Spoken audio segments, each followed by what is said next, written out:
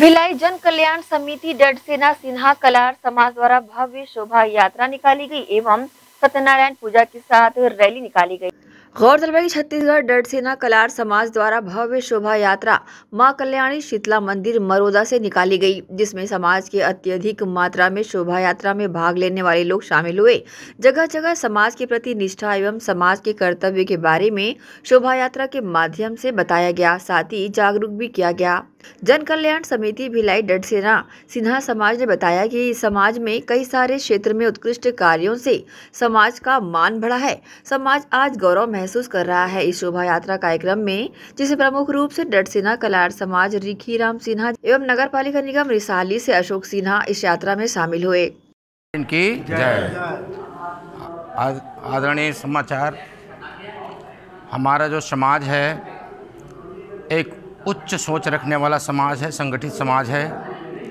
किंतु अपरिहार कारणों से समाज में कुछ संकट आने लगा। तो समाज के बुज़ुर्गों ने चिंतन किया, मनन किया कि हमारे समाज में अनेक प्रकार की बाधाएँ आ रही हैं, सामाजिक रूप से और राजनीतिक रूप से किसी प्रकार से।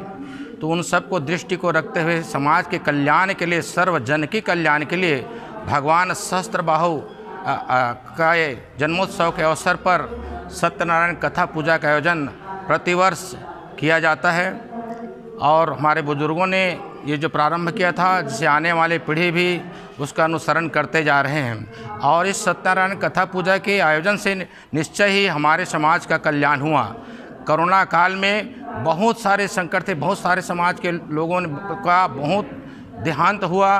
किंतु हमारे समाज में उस विपत्ति के समय भी इस प्रकार की किसी प्रकार की घटना नहीं हुआ और घटना होते होते भी बचा है। ये प्रमाणित सब भगवान सत्यनारायण कथा पूजा के बाद हमको पता चला लाभ मिला है ये निश्चित है। एक प्रकार से हमारे समाज का शक्ति प्रदर्शन था।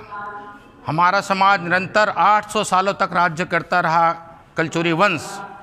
किंतु परशुराम के प्रतिज्ञा के कारण हमारा समाज तितर बितर हो गया इधर उधर हो गया जिसके कारण से शासन और सत्ता से दूर हो गया था। और इस और इसके कारण पीछे था तो समाज को एक फिर से संगठित करने समरसता लाने और एकजुट करने के लिए उस रैली का आयोजन हर वर्ष किया जा रहा है। विगत पाँच सात सालों से किया जा रहा है। के लोग आए हुए थे। इस में हमारे महाराष्ट्र से आए थे और टाटा से आए थे लोग और आज जो उत्तर प्रदेश वाले जो समाज हैं वो भी आए थे महा और अ, क्या बोलते हैं पश्चिम बंगाल से भी थे कितने की संख्या थी? कल हमारे इसमें कम से कम एक हज़ार की संख्या थी लोगों की जो बाहर से आए हुए थे और यहाँ मिला करके स्थानीय लोगों कर कर के और लगभग कार की रैली तो लगभग एक किलोमीटर कार की रैली थी देखते ही बन रहा था ये हमारा शक्ति प्रदर्शन था। बहरहाल यात्रा में समाज के लोगों ने बढ़ चढ़कर हिस्सा लिया।